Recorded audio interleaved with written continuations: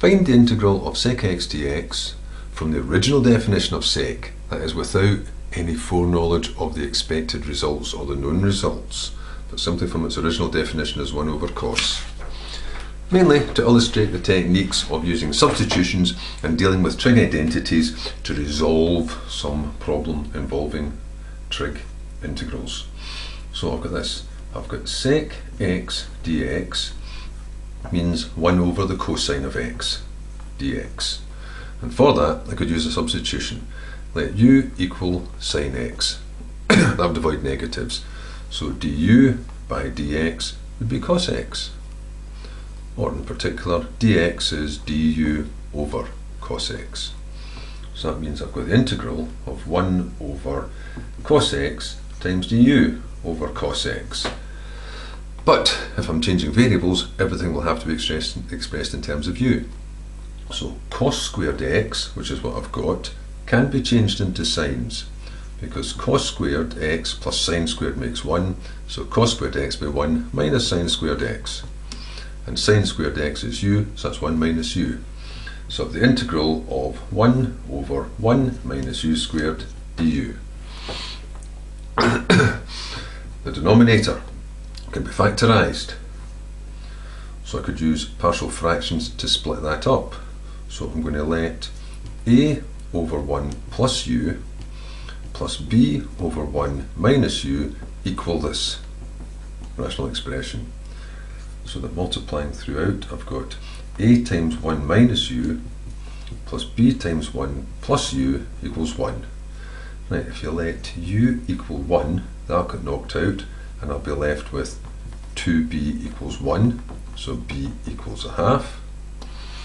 And if I let u equal negative 1, it means that'll get knocked out and I've got 1 taken away negative 1 is 2, so it's the same for a, 2a is 1, so a is a half.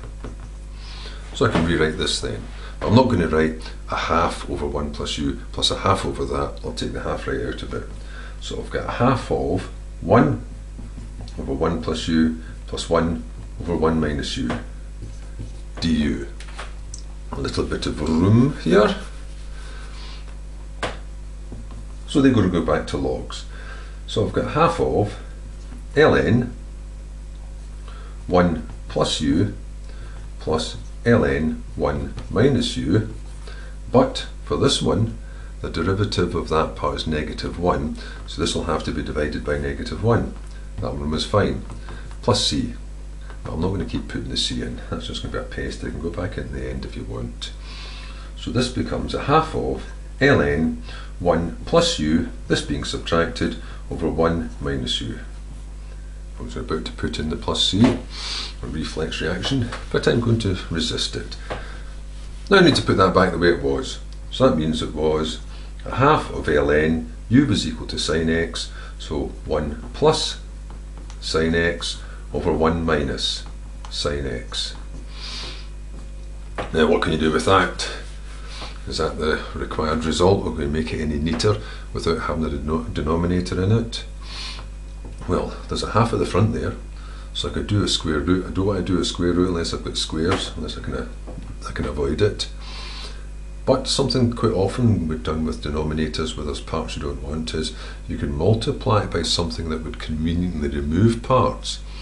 And in this case, it would be quite handy to multiply the bottom, 1 minus sine x, by 1 plus sine x. Oops. Forming the difference of two squares. Even handier is the fact that that's the same as the top, which means I've now got 1 plus sine x squared ready for that square root. So I've got half of ln, the top's going to be 1 plus sine x squared, and the bottom is going to be the difference of two squares here, so that's 1 squared minus sine squared back to that same substitution as that same substitution as before. Cos squared plus sine squared equals 1. So 1 minus sine squared is going to equal cos squared. So now I've got a half of ln of 1 plus sine x all squared over cos squared x. Just a paste, aren't they? So I've got, now I can take the square root the square root of that is going to be 1 plus sine x over cos x. One step away now. 1 over cos x is sec x, and sine over cos x is tan x. And back you come to finish off, plus c if you will.